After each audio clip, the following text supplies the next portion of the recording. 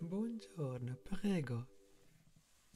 Benvenuto all'erboristeria del monastero di Santa Pazienza.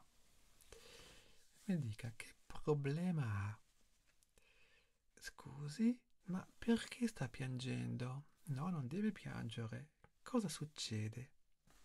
Suo marito le mette le corna? E corna, ma e io cosa posso fare? E consigli? Ma eh, che cos'è questo? Mi, mi dia, mi dia. Ma che cosa sono queste? Mutandine erotiche?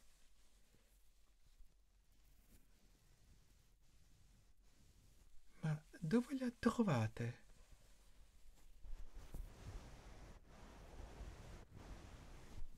Le ha trovate dentro la borsa della ginnastica di suo marito.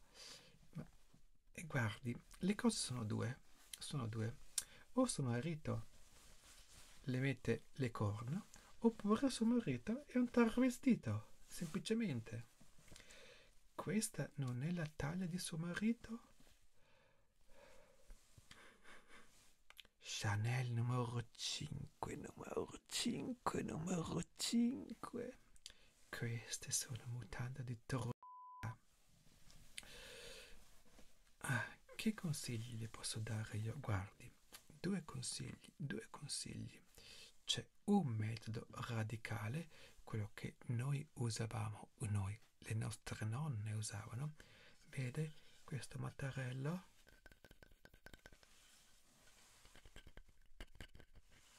Questo mattarello si prende con la mano ferma e boom, boom, su testa di marito finché marito non diventa normale. Oppure ci affidiamo alla erboristeria. Guardi, eh, questo... Uh, no, no, no, no, no, no, no. Questo è per perdere capelli. Questo è invece per perdere le palle. Non va bene. Vediamo. Ah, ecco. Questo. E questo. Guardi, questo serve per far passare la voglia di fare corna a suo marito.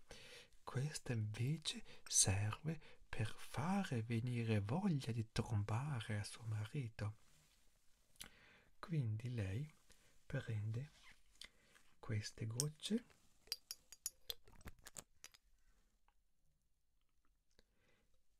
e le mette nel caffè di suo marito quando lei ha paura che le metta le corna. Invece, quando suo marito è a casa e lei vuole una bella trombata, prende quest'altra gocce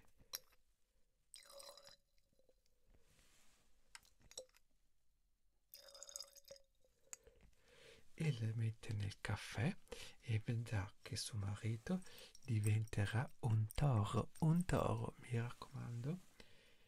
Non si sbagli, perché sennò suo marito tromberà tutte quelle del paese, mi raccomando. Ecco. Poi vediamo cosa posso consigliarle. Cosa questo? Questo essere pangrattato non c'entra niente. Evidentemente Sor Giusy l'ha dimenticato qui. Doveva fare i panzarotti di patate. Hai presente quelle cose fatte con le patate molto buone che poi si friggono? Ecco, guardi, mi faccia sapere, mi raccomando, poi torni qui e mi lasci il feedback. E naturalmente un bel pollice in su e anche condivida con le sue amiche, perché se le sue amiche hanno lo stesso suo problema, possono venire qua e io risolvo tutto grazie all'erboristeria del convento. Detto questo, io la saluto, la abbraccio e ci vediamo